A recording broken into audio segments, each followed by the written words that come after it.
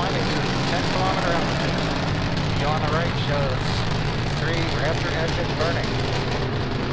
Everything continues to look nominal right now for the stage after propulsion.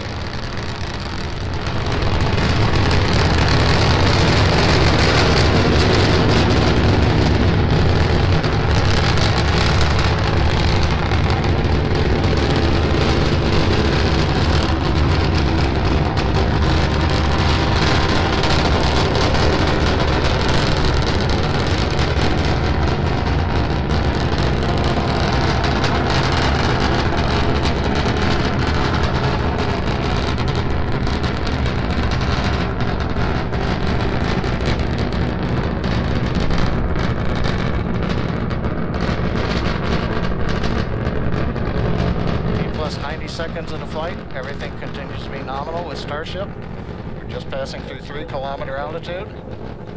Next major event is shutdown of engine number three.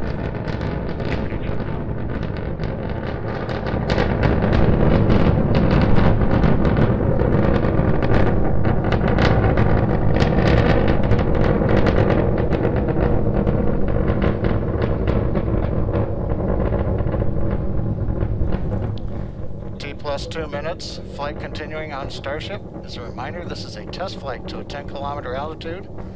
Engine number three shut down on time as planned. We're continuing to climb on two engines.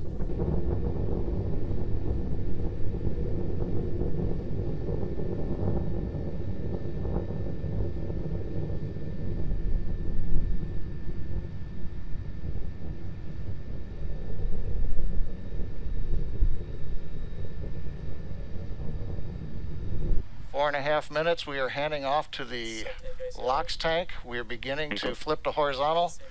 And the white cloud, the plume you were seeing was intentional. That is a liquid oxygen dump.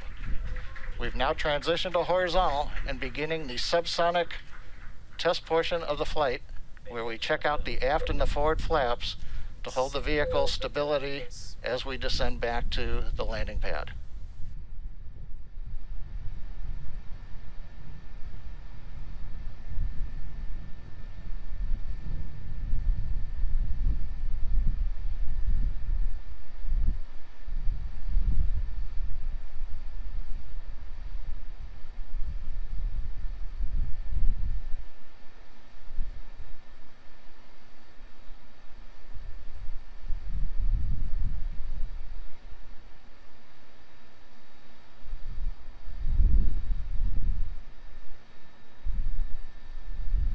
Plus five and a half minutes. Starship continuing the subsonic descent using the forward and aft flaps to control its attitude as we come back down to the landing pad.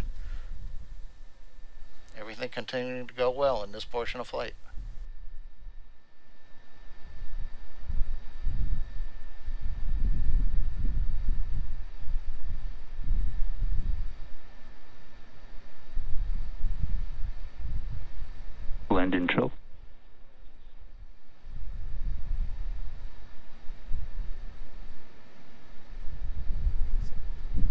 Six minutes, 10 seconds into flight. We're down beneath one and a half kilometers. We're preparing to restart two engines, flip the vehicle vertical, then transition to one engine for the landing burn.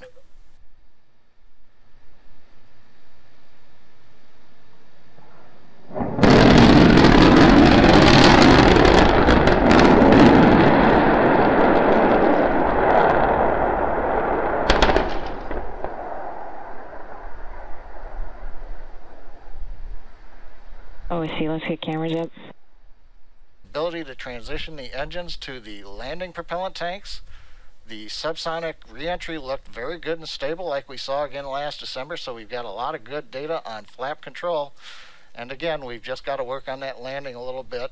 But second time we've flown Starship in this configuration, we've got a lot of good data, and the primary objective to demonstrate control of the vehicle in the subsonic reentry uh, looked to be very good, and we will take a lot out of that.